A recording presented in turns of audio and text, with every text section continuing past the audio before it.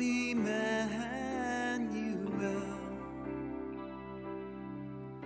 with ransom captive Israel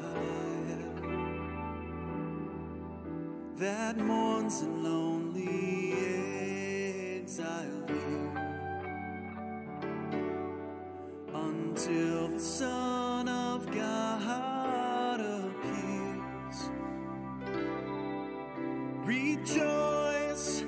joy.